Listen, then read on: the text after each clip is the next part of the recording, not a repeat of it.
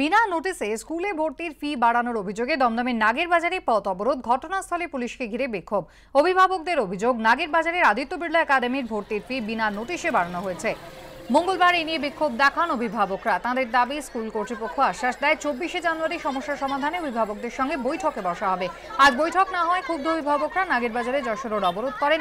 ঘণ্টা দেড়েক ধরে অবরোধ চলে। পুলিশকে ঘিরে বিক্ষোভ দেখান অভিভাবকরা।